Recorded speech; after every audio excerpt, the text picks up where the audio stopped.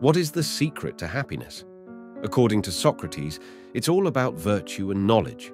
Socrates believed that happiness requires virtue, and virtue requires knowledge. But we shouldn't think of Socratic knowledge as being binary. You either have it or you don't. Instead, we should think of it as being craft-like. You can have more or less of it. So, according to Socrates, the path to happiness is about making genuine progress toward virtue. As we become more virtuous and knowledgeable, we become happier. Keep learning, keep growing. What's your take on happiness? Share your thoughts in the comments.